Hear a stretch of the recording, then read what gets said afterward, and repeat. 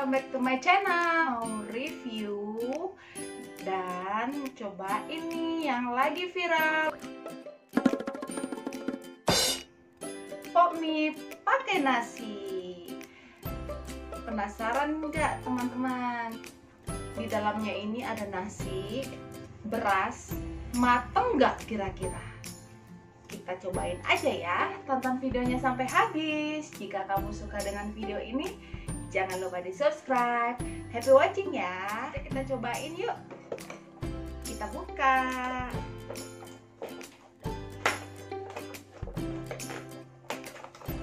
Penasaran nggak dengan pok mie pakai nasi. Katanya ini di dalamnya beras yang sudah dipanggang. Beras yang sudah dipanggang dan sudah dibuatin pengawet. Makanya dalam 3 menit berasnya mateng. Begitu teman-teman. Ya kita cobain aja ya. Jadi di dalamnya ini seperti biasa ini minyak.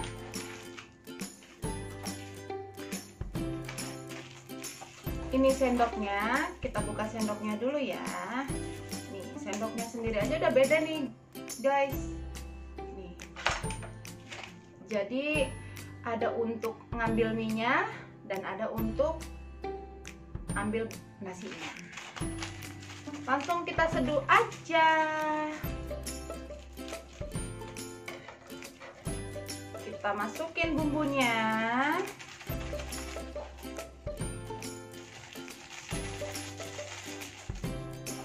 jadi di sini nih teman-teman berasnya. Jadi ini beras asli ya.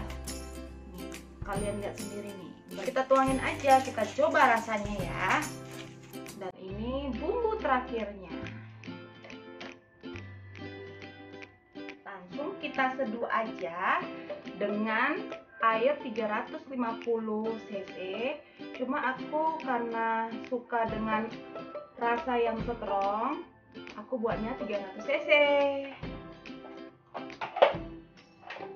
Kita tunggu 3 menit. Ini udah 3 menit teman-teman. Kita cobain aja ya. Wah beneran jadi nasi teman-teman. Mateng nggak ya? Kita coba ya. Jadi ini bentuk bentuk nasinya nih teman-teman nih. Bisa teman-teman lihat nih bentuk nasinya. Kelihatan nggak ya? Kita cobain aja ya. Aku penasaran nih teman-teman. Kita cobain nasinya dulu. Hmm. Enak.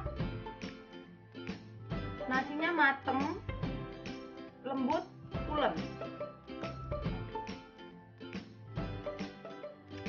rasa sotonya berasa banget nih guys. Hmm, praktis tinggal seduh air panas. Terus untuk anak kosan yang mau irit yang kelaparan tengah malam ini cocok banget. Karena di Indonesia ini rata-rata kalau kita makan mie pakainya nasi kita cobain mie nya ya. Hmm.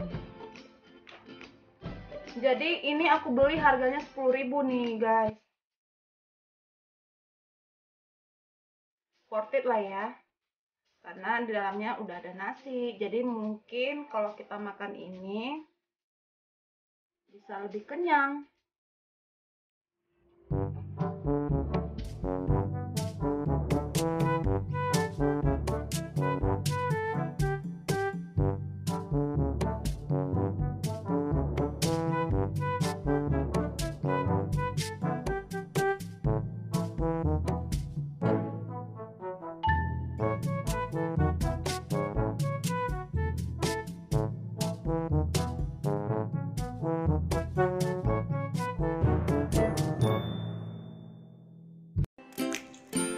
udah habis teman-teman.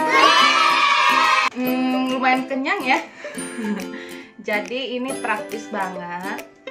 Jadi yang mau makan mie pakai nasi pop mie udah makan pakai nasi. Ini cocok banget untuk anak kosan. Untuk kalau kita berpergian mau jalan-jalan tinggal pakai ini. Seduh 3 menit langsung jadi deh semoga teman-teman suka dengan video ini. Jangan lupa di subscribe aktifkan tombol lonceng